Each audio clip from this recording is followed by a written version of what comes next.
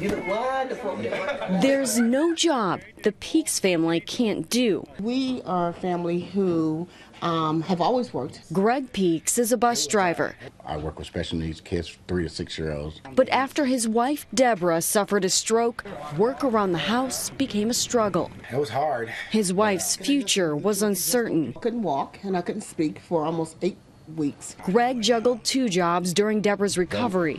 Go see her at night or take off in the night and then go see her during the daytime. Saturday, the couple was greeted by dozens of volunteers who didn't know the two until this spring. Hundreds of volunteers worked on 17 homes in West Columbus, fixing water heaters, lights, and even making the front yard look a little nicer. Just, just giving back to the, to the people that, you know, the community, the people that have, the hardworking people over the years and that just need a little hand. Greg and Deborah have fought through pain. Without faith, there was I couldn't have pulled through it, and without my family. Now they're watching dozens of strangers work in their own home. Here, there's no lack of labor or love. In West Columbus, Jen French, Fox 28 News.